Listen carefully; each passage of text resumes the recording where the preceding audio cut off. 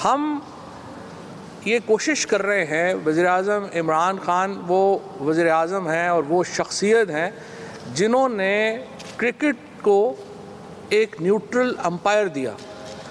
आपको याद होगा कि क्रिकेट के अंदर भी पाकिस्तान भारत सीरीज़ में कभी जो मैचेस थे, उनके ऊपर यकीन नहीं आता था।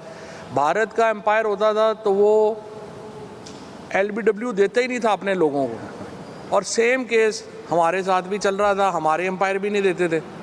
और ये वो एक माहौल था जिसमें इमरान खान ने न्यूट्रल एम्पायर की बात की।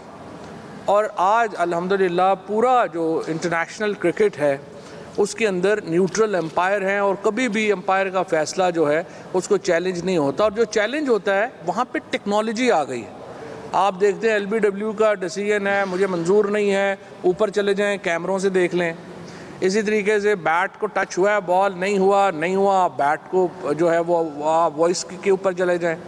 टेक्नोलॉजी ने इन चीज़ों को आसान किया है और बहुत ही एक, जो लोग क्रिकेट को फॉलो करते हैं, उनको मालूम है कि कितना बड़ा ये तनाज़ था और अब कितना ये कम रह गया है। इसी असूल को वज़ी अजम इमरान ख़ान ने हमारे पार्लियामेंट्री अफेयर्स की जो मिनिस्ट्री है, उसको ये टास्क दिया और पीटीआई को ये, उन्होंने इस तरफ़ ये टास्क दिया कि हम एक ऐसा इलेक्शन चाहते हैं जिसके ऊपर तमाम लोगों का ये ना हो कि ये इलेक्शन हम जीते हैं तो झगड़ा हो और वो जीते हैं तो वो झगड़ा हो। पहले दिन जब इमरान खान वज़ी अजम मंतखब हुए और पहली स्पीच की, उस दिन उन्होंने अपनी सीट से उठ कर के leader of opposition Shehbaz Sharif साहब की नशस्त पे गए और उन्होंने वहाँ पे उनको ये कहा कि देखिए आप कह रहे हैं कि इलेक्शंस के अंदर धांधली हुई है। हम आज ही ये कमीशन बनाने को तैयार हैं। पार्लियामेंट की कमेटी पहले दिन इमरान खान साहब ने बना दी। ये कमेटी बनाने के लिए पिछली दौरे हुकूमत में चार साल लगे थे। धरने देने पड़े कमीशन देने पड़े, पूरा एहतजाज हुआ। चार साल लगे ये कमीशन कमेटी बनाने में। हमने पहले दिन बना दी। उसके बाद उस कमेटी के कोई तीस, बत्तीस इजलास हुए। उन इजलासों में क्या कहा गया? नंबर वन पीएमएलएन कह रही थी कि यहाँ पे जो आरटीएस सिस्टम है, वो बैठा है और हमारे साथ धांधली हुई है। उनको ये कहा, परवेज़ खट्टक साहब थे, शफकत महमूद साहब थे, मैं उस कमेटी में था। हमने कहा जी कि जहाँ, जिन हलकों में आरटीएस सिस्टम बैठा है और आपको, आपका ख्याल है कि वहाँ पे इलेक्शन में धांधली हुई है, उन हलकों की तफसील दे दें। एक हलके की तफसील जो है, उस कमेटी के सामने नहीं आई। फिर हमने कहा, उन्होंने कहा कि बहुत सारे हलके ऐसे हैं, जहाँ पर जो जो फॉर्म 45 होता है, वो गायब हो गए, और वो हलके जो हैं, वहाँ पर जो फॉर्म 45 था, वो आर के पास पहुँचा नहीं। हमने कहा, उन हलकों की तफसील दे दें, कोई तफसील नहीं आई। फिर हमने इलेक्शन कमीशन के पास जो इंतबी अजरदारियाँ फ़ाइल होती हैं, उनका रिकॉर्ड मंगवाया। तो पता ये चला कि पूरे पंजाब में 25 इंतबी अजरदारियाँ फ़ाइल हुई। उनमें से 13 पी टी आई के लोगों ने की हुई थी 11 पी एम एल एन के लोगों ने की हुई थी। लिहाजा सिर्फ़ मीडिया के बल के ऊपर ये नैरेटिव बनाना, ये बयानियाँ बनाना कि इंतबात में धांधली हुई है, ये एक वतीरे के तौर के ऊपर इस्तेमाल किया जाता है।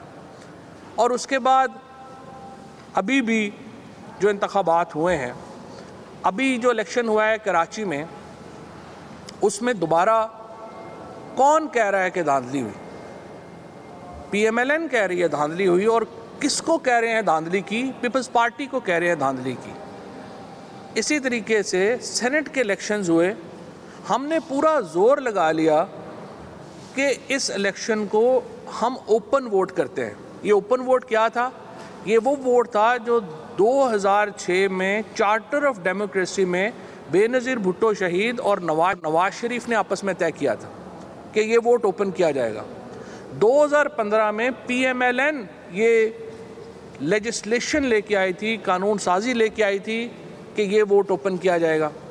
उसी असूल के ऊपर जो खुद पीपल्स पार्टी और पीएमएलएन ने रखा कि हम सेनेट का वोट ओपन करते हैं, हमने जब कहा वज़ी अजम इमरान खान ने जब कहा कि आइए, आपने जो बात की थी, वो दुरुस्त की थी, आइए इसको ओपन करते हैं, ये 180 डिग्री के ऊपर वापस फिर गए और उन्होंने कहा, जी, हमने ओपन नहीं करना। और उसके बाद जो यूसुफ रज़ा गिलानी साहब को, जो मेरे बहुत ही, मेरा उनका एहतराम है, जिस तरीके से उनको इलेक्शन जितवाया गया और जिस तरीके से वो फिर सेनेटर बने और फिर जब वो चेयरमैन सेनेट नहीं बन सके, ये कहानी सारी आपके सामने अगर आप असलाहत के लिए तैयार नहीं हैं, अगर हमने सिर्फ़ हर इलेक्शन के बाद रोना धोना है कि लुट गए, मर गए, बर्बाद हो गए, ये नतीजा सही नहीं आया, फ़लाने ने ये कर दिया, फ़लाने ने ये कर दिया तो फिर तो देखिए आपकी सियासी तरक्की रुक जाएगी। आपकी जमहूरी तरक्की रुक जाएगी, आप आगे नहीं जा सकेंगे। इसलिए इमरान खान का जो नज़रिया, वो ये है कि आइए मिलकर असलाहत करते हैं। फिर दरमियान में बारहा ये बात कही गई कि देखिए जी वज़ी अजम ख़ुद नहीं कह रहे। बाकी लोग कह रहे हैं, आप वज़ी अजम नहीं कह रहे। वज़ी अजम साहब ने, स्पीकर साहब को ख़त लिखा। उन्होंने कहा कि आप तमाम जो हमारी जमातें हैं, उनको इकट्ठा करें और उन्हें कहें कि आइए हमारे साथ असलाहत करें। उसके बाद प्राइम मिनिस्टर साहब ने बरह रास्त ट्वीट की। बरह रास्त उन्होंने बयान जारी किया कि इसके ऊपर हकूमत और अपोजिशन को मिल के आगे बढ़ना चाहिए।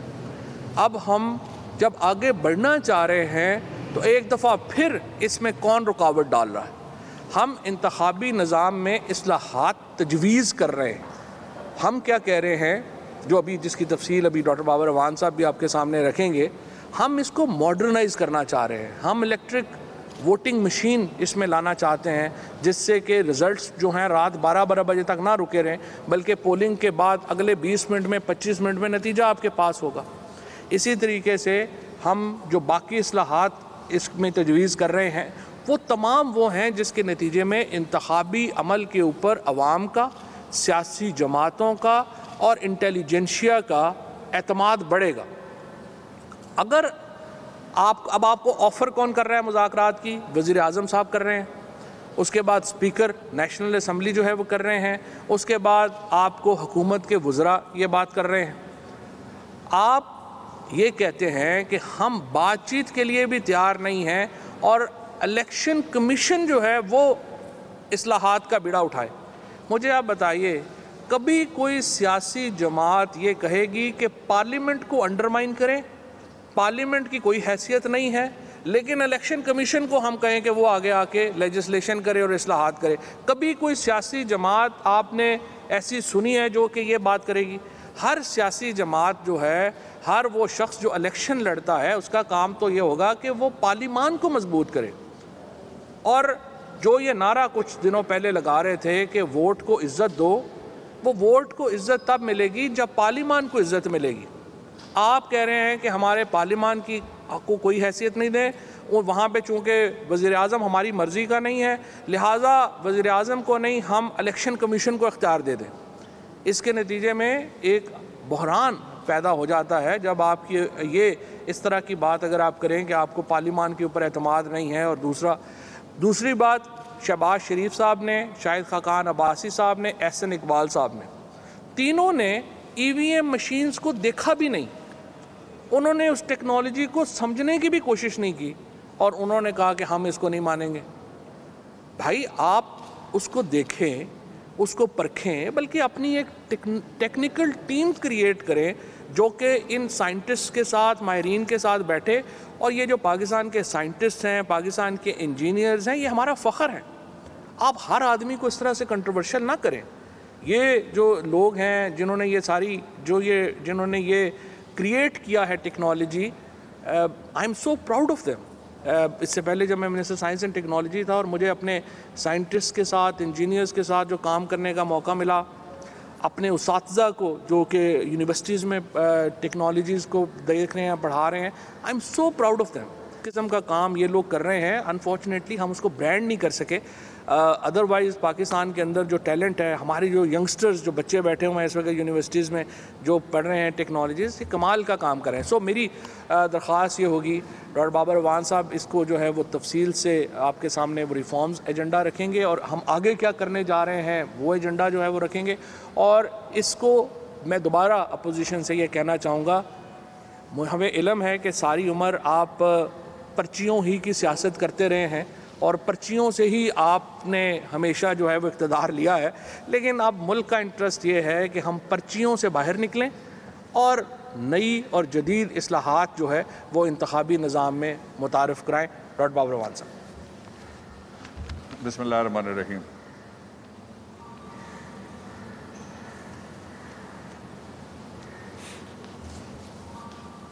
मैं बहुत शुक्रिया आपका अदा करता हूँ कि आप लोगों ने एक ये ऐसा मसला है इस वक्त जो इलेक्ट्रिक रिफॉर्म्स का। ये इससे आइनी बहरान तो कोई पैदा नहीं हुआ, लेकिन आइनी इदारों पे अदम एतमाद का बहरान पैदा हो गया है कौम में, जो बड़ी ख़तरनाक बात है। मुल्क सिर्फ़ ज़मीन और बिल्डिंगों से नहीं बनते, वो इदारों से और उसके आवाम से बनते हैं। इसलिए मैं इसकी थोड़ी सी आपको पर्सपेक्टिव देता हूँ। पाकिस्तान में जो जदीद धांधली का सबसे बड़ा तूफ़ान उठा, वो एक सियासी जज साहब थे। उन्होंने 2013 के इलेक्शंस में जाके जितने भी रिटर्निंग ऑफिसर्स थे, उनसे खिताब कर लिया। और वो अपने इदारे से, अपने आइनी मैंडेट से बाहर निकल के एक और आइनी इदारे के मैंडेट में जाके उन्होंने मुदाखलत की। उसका नतीजा ये निकला कि 22 मुल्क की सियासी जमातें जिन्होंने इंतबात में हिस्सा लिया था, सबने उसको कहा कि ये आरोज का इलेक्शन है। उसका दूसरा पहलू जिस पे इंफॉर्मेशन मिनिस्टर साहब ने, अभी फवाद साहब ने रोशनी डाली है, मैं सिर्फ़ एक आपको उसका एंगल बताना चाहता हूँ कि उसका नतीजा ये हुआ कि मुल्क की तारीख में पहली मरतबा चार हलके खोलने के लिए कहा गया, जिसमें दो तीन में तो मैं वकील था और मैं रिप्रेजेंट करता पीटीआई के लोगों को। और वो नहीं खोले गए। और उसका नतीजा ये निकला कि मुल्क की तारीख का सबसे बड़ा एहतजाज और सबसे तवील धरना वो स्टेज करना पड़ा लोगों को। उस इलेक्शन के बाद जो रिफॉर्म हुई वो 2017 के इलेक्शन एक्ट के ज़रिए से हुई। और उसको जो बनाने वाले थे, जिनके दौरे हुकूमत में वो एक्ट बना, उन्होंने कहा ये नाकस है। ये फेयर फ्री ट्रांसपेरेंट इलेक्शन से मीट करने के काबिल नहीं है। ये रिकॉर्ड पे हैं। इसीलिए उन्होंने जो 2018 के इलेक्शंस थे, जिनको बैन अवी मुबसरीन ने, फैफन ने, मीडिया के बड़े मोतबर लोगों ने कहा कि बाय लार्ज बिल्कुल ठीक इलेक्शन हुए हैं। उन इलेक्शंस को भी उन्होंने चैलेंज किया और कहा कि हम इस इलेक्शन को नहीं मानते। इस सूरत हाल में दो रास्ते हुकूमत के सामने खुले हैं। एक ये है कि बिज़नेस एज यूजुअल का स्टेटस को हम चलने दें और कोई रिफॉर्म ना करें। दूसरा ये है कि गिवन सर्कमस्टांसिस में जो भी ज़मीनी हकायक हैं, उनके अंदर हम रिफॉर्म करें और आगे बढ़ें। आपके वज़ीर अजम इमरान खान ने दूसरा रास्ता इख्तियार किया है कि हम इलेक्टोरल रिफॉर्म्स करेंगे और हम आगे बढ़ेंगे। रिफॉर्म के लिए इलेक्शन एक्ट 2017 में और जो हुकूमत का पैकेज है, उसके अंदर 49 सेक्शंस मुख्तलिफ़ कुछ इंट्रोड्यूस किए जा रहे हैं, कुछ डिलीट किए जा रहे हैं और कुछ तब्दील किए जा रहे हैं। 49 उनमें से मैं 19 जो सेक्शंस हैं आज आपके सामने उनके हवाले से गुफ्तु करूँगा 19 सब पे नहीं मैं बोलूँगा। उन, उसमें से सात बड़ी इंपॉर्टेंट चीज़ें मैं जो आपके सामने रखना चाहता हूँ। लेकिन जब ये कहा जाता है कि हुकूमत ने, शहबाज शरीफ साहब ने कहा, तीन साल से ताला लगा दिया पार्लियामेंट में। आप जब से बने थे पब्लिक अकाउंट्स कमेटी के चेयरमैन, आपने कितने इजलास किए? वो जो रिमांड वाला इजलास था, उसको छोड़ दीजिएगा। हर इजलास मुनद हुआ है और हमने अपनी गवर्नमेंट के पिछले जो दो साल थे, उसमें जो आइनी अरसा दिया हुआ है पार्लियामेंट का, कि वो बैठेगी कोविड के बावजूद मुश्किल के बावजूद, और बड़ी तादाद पे जो पार्लियामेंटेरियंस और मिनिस्टर्स और अमला था, उनके इन्फेक्शन लगने के बावजूद भी हमने वो टाइम मुकर किया। आप नहीं तशरीफ़ लाए, ये आपकी मर्ज़ी थी। लेकिन अब हम आपको दावत दे रहे हैं कि आप ज़रूर तशरीफ़ लाइएगा। दूसरी बात जो बहुत इंपॉर्टेंट है जो इजलास हुए, उनमें से सिर्फ़ तीन की मैं झलकियाँ आपके सामने, कौम के सामने आपके ज़रिए से पेश करना चाहता हूँ। पहली झलकी ये है कि एक इंतहाई मोतबर पार्लियामेंटेरियन साहब, जो पिछला बजट का इजलास था, उसमें वो कोर्ट उतारने और मिनिस्टर को मारने के लिए दौड़ते हैं। ये जमहूरियत का हुसन था।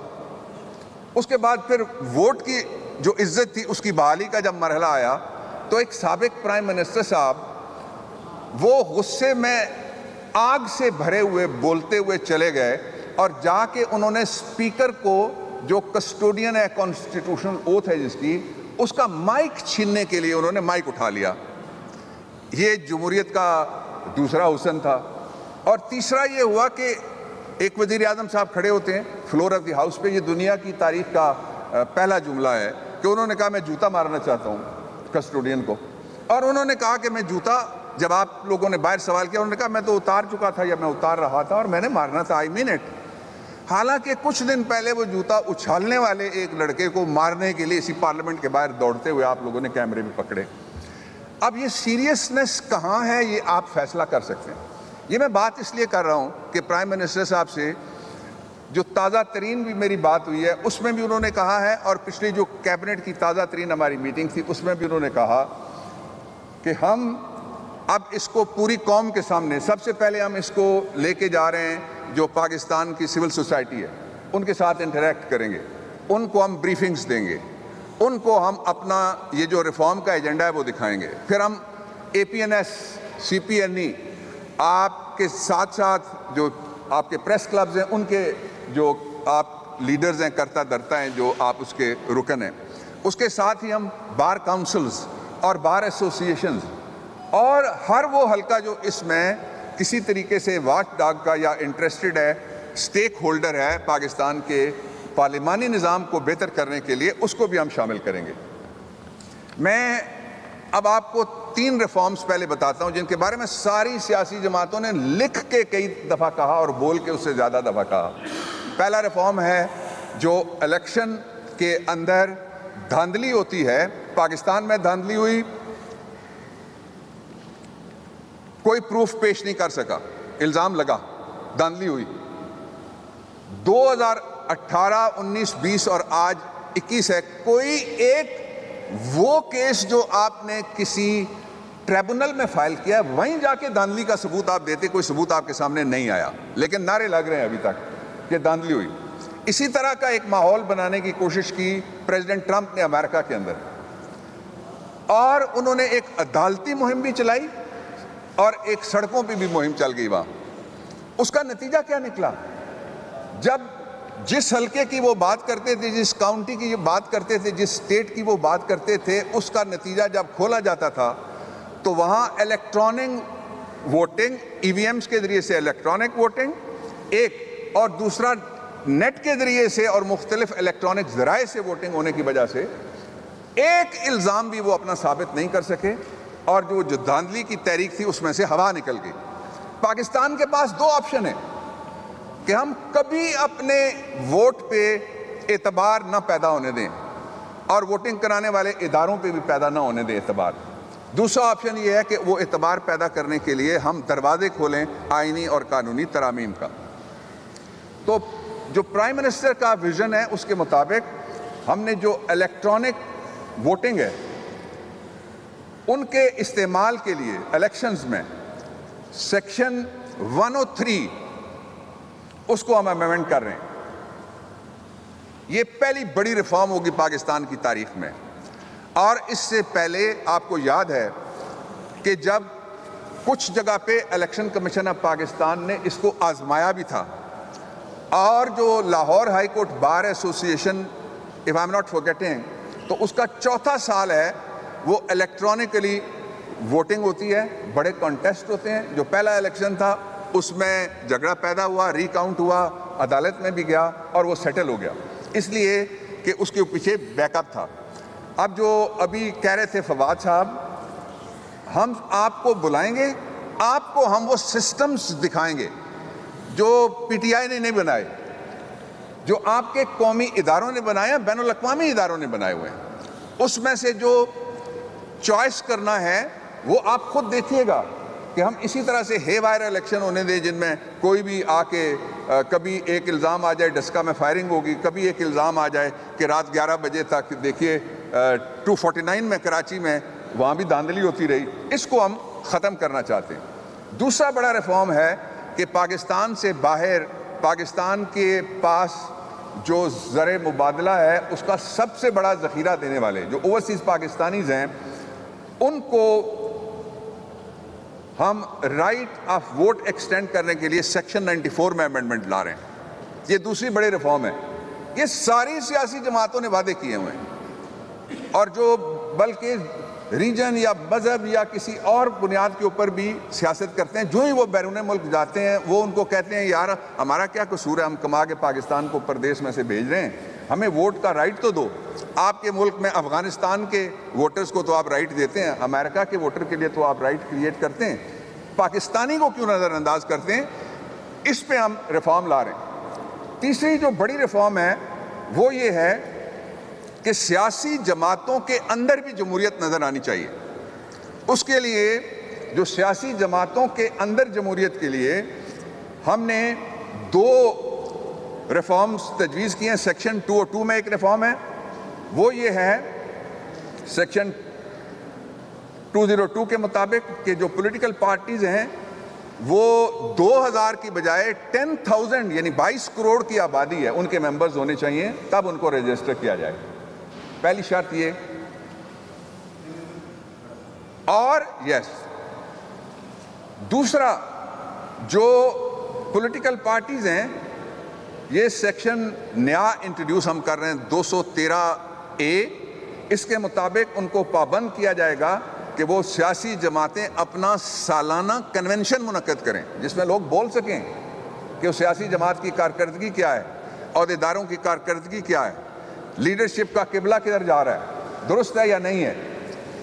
ये तीसरी रिफॉर्म थी। चौथी जो बड़ी इलेक्ट्रल रिफॉर्म है वो ये है कि जो पोलिंग स्टाफ के हवाले से हमेशा शिकायत उठती हैं। तो जो पोलिंग ऑफिसर्स या स्टाफ लगाया जाएगा सेक्शन 15 में अमेंडमेंट करके हम ये प्रोविज़न ला रहे हैं कि उसको चैलेंज कर सकेगा अगर किसी को कोई एतराज़ है। मिसाल के तौर पे असजद मल्ली चीखते रहे वहाँ जो आरओ थे उनके बारे में। लेकिन कुछ नहीं हो सका। मिफ्ता साहब भी चीख रहे हैं किसी एक अहदेदार के बारे में और टेलीविज़न पे बैठ के कर रहे हैं लेकिन वो चेंज नहीं हो सका। आरओ के बारे में। वो भी आरओ के बारे में फवाद साहब बता रहे हैं। तो ये जो अपॉइंटमेंट ऑफ़ पोलिंग स्टाफ है officers and staff within fifteen days इस अपॉइंटमेंट को चैलेंज किया जा सकेगा।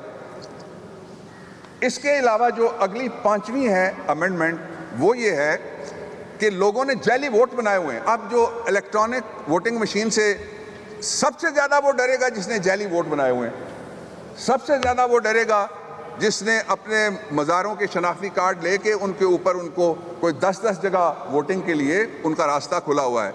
और सबसे ज़्यादा वो डरेगा जो फर्जी वोटर्स पे यकीन रखता है, जो पर्ची को भी पलीद कर देता है, वो इस, इससे सबसे ज़्यादा डरेगा। लेकिन जो रिफॉर्म करना चाहता है, हालात को बेहतर करना चाहता है, वो इससे नहीं डरेगा। उसके लिए जो हमने सोचा है, रास्ता वो ये है कि एक तो ये कि जो नादरा का रजिस्ट्रेशन का आईडी डेटा है, नादरा वाला, उसकी बुनियाद के ऊपर हम जो इलेक्टरल रोल्स इंतबी फहरिस्तें हैं, वो तैयार होनी चाहिए। बाकी सब जगह हम वो नादरा का डाटा मानते हैं। एहसास प्रोग्राम है, पाकिस्तान का सबसे बड़ा प्रोग्राम जो गरीबों के डायरेक्टली उनको देता है, शफाफ तरीके से पैसे। आखिरी जो मैं आपको अभी बताना चाहता हूँ, फिर आपसे बाद में भी बात करेंगे इन वो ये है कि हम जो हल्का बंदी है, कराची में भी सवाल उठता है, बाकी जगह भी सवाल उठते हैं। हल्का बंदियों को दुरुस्त करने के लिए हमने पहले वो कहते थे कि इतनी आबादी हो तो एक आबादी ऐसी होती थी जहाँ आपको साढ़े तीन लाख का हल्का मिलता है। उसके साथ वाला आपको पता लगा कि वो सतहत्तर हज़ार का हल्का है। आबादी की बुनियाद के ऊपर अब हम ख़त्म करेंगे और इस सिलसिले में कुछ हम डिलीट कर रहे हैं प्रोविजंस 2017 के इलेक्शन एक्ट में से और हम वोटर्स की बुनियाद, जो रजिस्टर्ड वोटर्स हैं, नादरा के, उसकी बुनियाद के ऊपर करेंगे। ताकि हल्के बैलेंस्ड बन सकें। और बहुत सारे इलाकों में जो आबादी के मुख्तलिफ़ हैं सेक्शंस जो शिकायत करते रहते हैं तो मुझे अभी तक जो आपने सुना, इसमें से कोई ऐसी चीज़ नहीं है जो किसी एक सियासी पार्टी को फ़ायदा देती हो।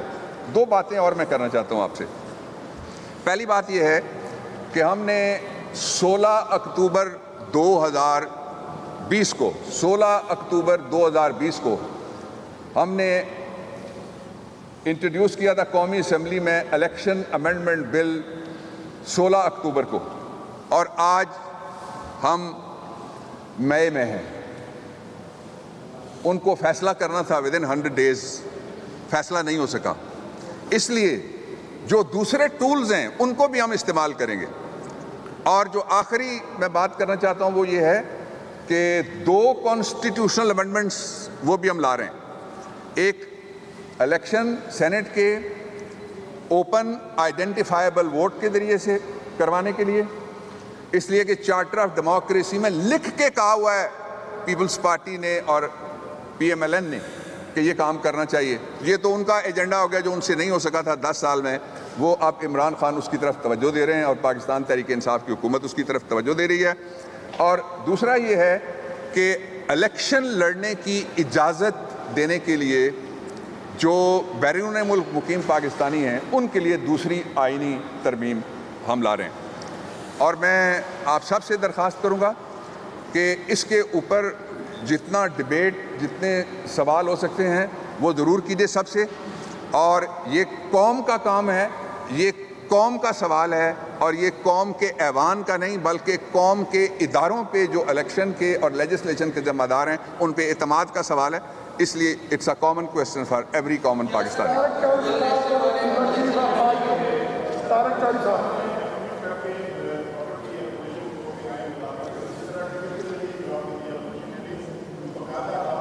नहीं नहीं प्राइम मिनिस्टर ने तो लेटर लिखे हैं। जो लेटर लिखे नहीं तारा साहब, आपने फॉलो नहीं किया। सबसे पहले वज़ी अजम साहब ने ख़त लिखा था स्पीकर साहब को। उसके बाद स्पीकर साहब ने ख़त लिखा है अपोजिशन को भी और पीपल्स पार्टी में नून लीग को भी और पीएमएलएन को भी और बाकी पार्टीज़ को भी। पीपल्स पार्टी ने अपना फोकल पर्सन नवीद कमर साहब को बना दिया है। पीएमएलएन ने अपना कोई बंदा उस कमेटी में नॉमिनेट नहीं किया है। सो ये प्रॉब्लम आ रही है कि पीएमएलएन को ने, ना उसका रिस्पांस दिया है, ना इसका रिस्पांस दिया है। ये ऑफिशियल है। अच्छा मैं तारक साहब, दो फोरम ऐसे हैं जहाँ पे अपोजिशन को पहले भी दावत दी जा चुकी है। वो फोरम है, पार्लिमानी सियासी नहीं है, इसलिए वहाँ तो आना चाहिए। एक कमेटी बनाई बाकायदा स्पीकर साहब ने, और दूसरा ये था, उसमें वो तशरीफ़ नहीं लाए। दूसरा, ये रिकॉर्ड दुरुस्त करने के लिए कहना बहुत ज़रूरी है, वो तशरीफ़ नहीं लाए। दूसरा ये था कि जो हाउस बिज़नेस एडवाइजरी कमेटी है, उसका भी पहली दफ़ा बाइकआउट हुआ है, और जब तक वो हाउस बिज़नेस एडवाइजरी कमेटी में नहीं आते, वो किसी जगह बैठ के पार्लियामेंट के किसी दूसरे फोरम पे इसलिए कि पार्लियामेंट को हमने इस्तेमाल करना है लेजिस्लेशन के लिए दूसरा कोई फोरम बिल्कुल भी इस काबिल नहीं है कि जहाँ से लेजिस्लेशन के लिए हम रजू कर सकें। ये सिर्फ़ इख्तियार है पार्लियामेंट का इसलिए वहाँ तो उनको आना चाहिए। पार्लियामेंट हमारी नहीं है उनकी भी है। जी अब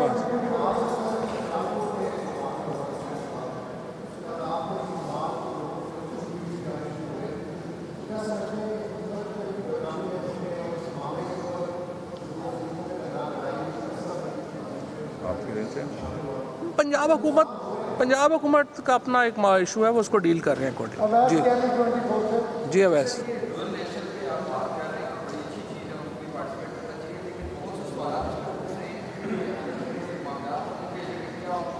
तो डिबेट होनी देखिए जी जितने भी सवालात उठाने हैं हुकूमत किसी सवाल से नहीं घबराती। वो ज़रूर उठाए जाएँ। जितनी भी बातें करनी है, जितने एतराज़ात करने हैं, मैंने आपको एक डेट दी है, ये चेक कर लें, आप भी क्या नहीं करते हैं रिपोर्टिंग पार्लियामेंट की, कि ये जो इलेक्शन अमेंडमेंट बिल है मेरे हाथ में इस वक्त, ये कौमी असम्बली में इंट्रोड्यूस किया 16 दस 2020 को, उस दिन भी उनका बाइकआउट था। तो हम क्या कर सकते हैं? और हम कौमी असम्बली में जब जाते हैं, ये बिल इंट्रोड्यूस होता है। आज तक देखिए, आप चेक करें, मैं पॉइंट स्कोरिंग के लिए हम दोनों यहाँ नहीं बैठे। आप चेक करें और कौम को बताएँ कि क्या अपोजिशन ने पिछले साल अक्टूबर से लेकर आज तक कौमी असेंबली में कोई अमेंडमेंट अपनी तरफ़ से डाली है कोई तजवीज़ डाली है? हमसे नहीं बात करना चाहते तो ना करें ना। वहाँ उन्होंने डाली है। मैं अपना जवाब नहीं देना चाहता जवाब मुझे पता है वैसे। ठीक। हाँ।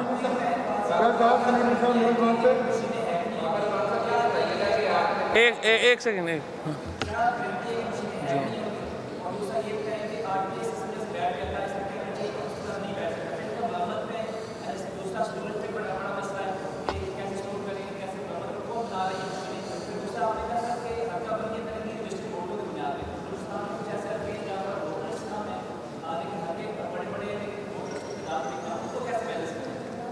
देखिए चारों सूबों के अंदर और जीबी के अंदर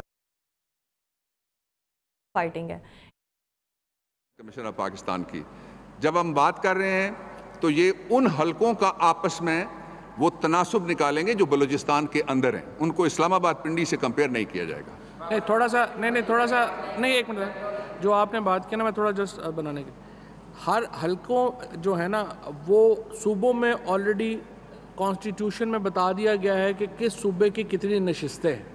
उस सूबे के अंदर जो डिमार्केशन हो रही है, वो इस वक्त आबादी की बुनियाद पे हो रही है। यानी फॉर एग्जांपल अगर बलूचिस्तान की 50 सीटें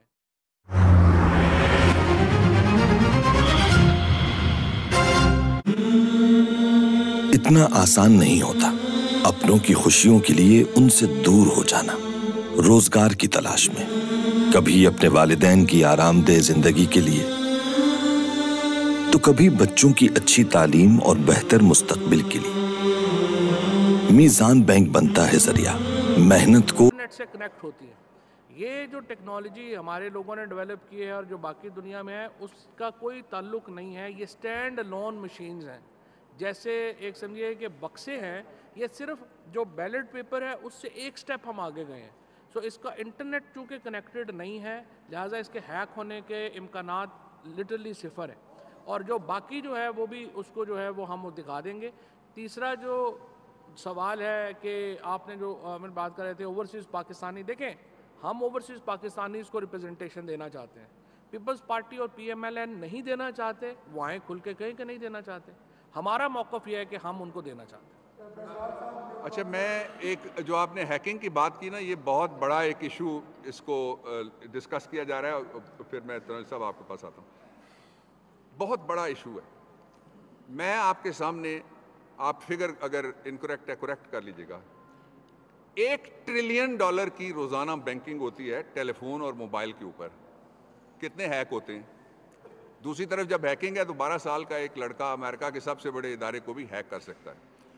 जो ह्यूमनली पॉसिबल जितने भी स्टेक होल्डर्स हैं, जिन्होंने इलेक्शन करना है, कराना है, भुगतना है, हिस्सा लेना है, वो सब जो भी तजावीज़ हमको देंगे, उन तजावीज़ का कोई ना कोई उपाय या हल निकाल के उनको हम सेटिस्फाई करें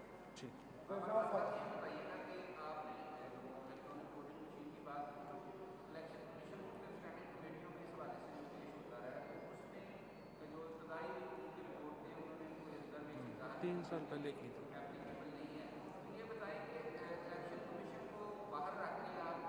वो तो शामिल।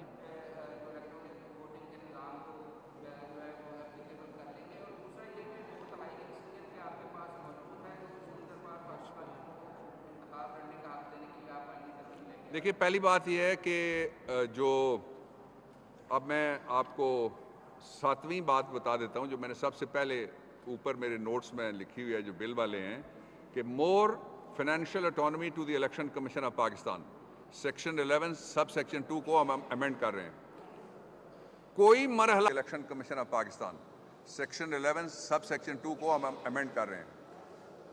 कोई मरहला ऐसा नहीं है जहाँ जहाँ मीटिंग्स हो रही हैं, लेकिन एक ज़िम्मेदारी हमारी है, एक इलेक्शन कमीशन ऑफ़ पाकिस्तान की है. जो इलेक्शन कमीशन ऑफ़ पाकिस्तान है इंडिपेंडेंट कॉन्स्टिट्यूशनल डिस्पेंसेशन है, अलहदा से इदारा है। लेकिन इसके बावजूद वो सारी जितनी भी हमारा इस सिलसिले का जो मरला चलेगा और जो चल चुके हैं, सारी जगह कंसल्टेटिव प्रोसेस हो रहा है। और एक बात ये हो गई, दूसरा जो इसका पहलू है कि ये कहना शहबाज साहब ने कहा कि जी, देखें, सारी दुनिया ने तर्क कर दिया है। इंडिया में किस तरह से इलेक्शन हो रहे हैं जी? और बेशुमार दूसरे मुल्क हैं जो, मैं नाम ले सकता हूँ। तो इसलिए स्वीपिंग स्टेटमेंट ना दें। आप बात करना चाहते हैं कमेटियाँ मैंने आपको गिनवा दी। एक स्पेशल कमेटी बनी है जो स्पीकर साहब वाली है। एक आपके पास कमेटी वो है जो हाउस बिज़नेस एडवाइजरी कमेटी है। तीसरी कमेटी आपके पास स्टैंडिंग कमेटी है। चौथी अगर कहेंगे तो हम समझेंगे तीन के बाद वो पंजाब विच कहते ना त्रै वारा होंगी इसके बाद अगर आप कोई बात करेंगे हम समझेंगे आप कमेटी कमेटी खेलना चाहते हैं। फिर हम पार्लियामेंट में चले जाएँगे। जी नसीर जी सिद्दीकी साहब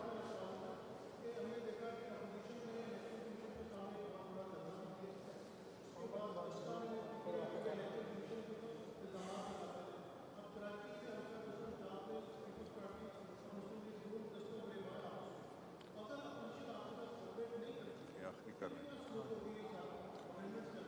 देखिए, हमें अपोजिशन के इस वक्त अमेंडमेंट्स करने के लिए हमें अपोजिशन की ज़रूरत नहीं है। हमारे पास कौमी असम्बली में भी अक्सरियत है, हमारे पास सेनेट में भी अक्सरियत है। हम सिर्फ़ ये अलबत् जो ओवरसीज़ पाकिस्तानीज़ का जो है, उसके ऊपर पीपल्स पार्टी और पी एम एल एन अपना स्टांस दे दें। वो अगर ओवरसीज़ पाकिस्तानीज़ को इलेक्शन लड़ने का हक़ नहीं देना चाहते वोटिंग का हक़ नहीं देना चाहते तो वो दोनों पार्टीज़ अपना स्टांस जो हैं वो दे दें हमें। ज़ाहिर है वो उसके लिए हमें उनकी मदद चाहिए कॉन्स्टिट्यूशनल अमेंडमेंट की। बाकी जो अमेंडमेंट्स हैं वो हमारे पास अपनी अक्सरियत है हम कर सकेंगे। इसके बावजूद हम चाहते ये हैं कि ये कंसेंसस से हों। अभी डॉक्टर बाबर रमान साहब ने जो आपके सामने सात जो मेजर अमेंडमेंट्स पढ़ी हैं मुझे आप बताइए इसमें किस पे एतराज़ है? अगर आप इलेक्शन कमीशन को मज़बूत क्या नहीं करना चाहते? क्या आप ये जो वोट्स ये तो खुद पार्लियामेंट में तमाम पार्टीज़ ने इसको दिया हुआ है। हम ये चाहते हैं ये कंसेंसस से जाएँ, लेकिन अगर कंसेंसस नहीं होगा, हमारा रास्ता बिल्कुल वाजह है, हम इस्लाहात की तरफ़ जाएँगे। आखिरी जी।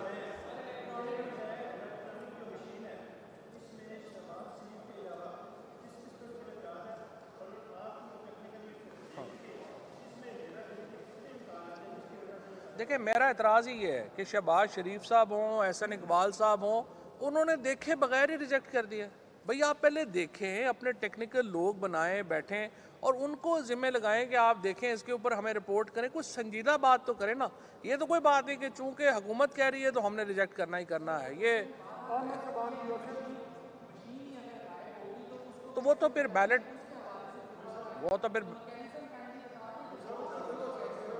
देखें जिस मुल्क से एक एक सेकंड सर जिस मुल्क से एक सेनेटर इतना लंबा गायब है और उसका लीडर गायब है। बैलेट और हम एक अमेंडमेंट ला रहे हैं वो भी कि जो कौमी असम्बली या सेनेट या किसी भी मुंतखब इदारे में इसलिए कि जावेद आशमी केस में ये 79 में सुप्रीम कोर्ट ऑफ़ पाकिस्तान की जजमेंट है जिसको हम इम्प्लीमेंट करने लगे हैं कि हल्का खाली नहीं रखा जा सकता। वो टीवी पे आते हैं पाकिस्तान नहीं आते साठ दिन जो हल्फ नहीं उठाएगा वो सीट से जाएगा। बोले बोले।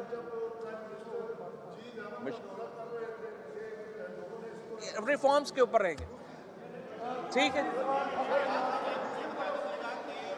फखर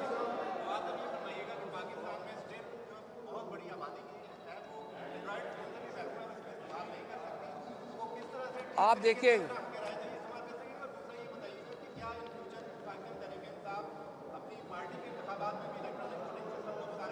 वो तो पहले ही हम शुरू जिस तरह अभी डॉक्टर साहब ने बताया कि बार काउंसिल जो है वो इलेक्ट्रिक वोटिंग के ऊपर चली गई हैं बाकी जगहों के ऊपर आप जाएँ। मैं आपसे ये कहूँगा कि आपको मैं डेमोन्स्ट्रेशन एक देता हूँ उसमें आप देखिएगा वो एंड्रॉयड फ़ोन वगैरह से भी बहुत आसान है उसको thank you sir thank you